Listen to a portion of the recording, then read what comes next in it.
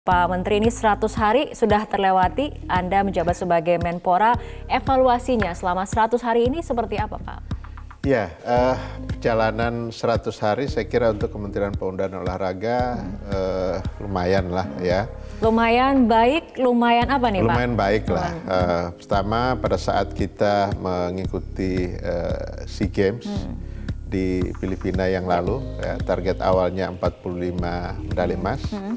kemudian kita naikkan menjadi 54 yeah. kemudian naik lagi menjadi 60 terakhir pada saat kami di uh, Manila yeah dan alhamdulillah hasilnya 72. Uh, memang uh, SEA Games ini tidak menjadi uh, target utama kita. Kita targetnya adalah Olimpiade.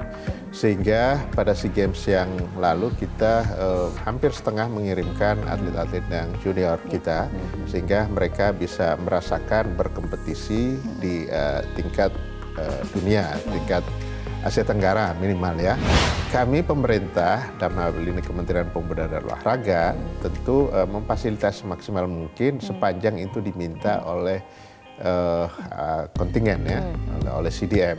Kalau sekarang kan mengira-ngira belum berani karena ini menyangkut uang negara. Saya juga tidak mau okay. sembarangan mengeluarkan itu tanpa uh, perkiraan yang yang pasti. Ya.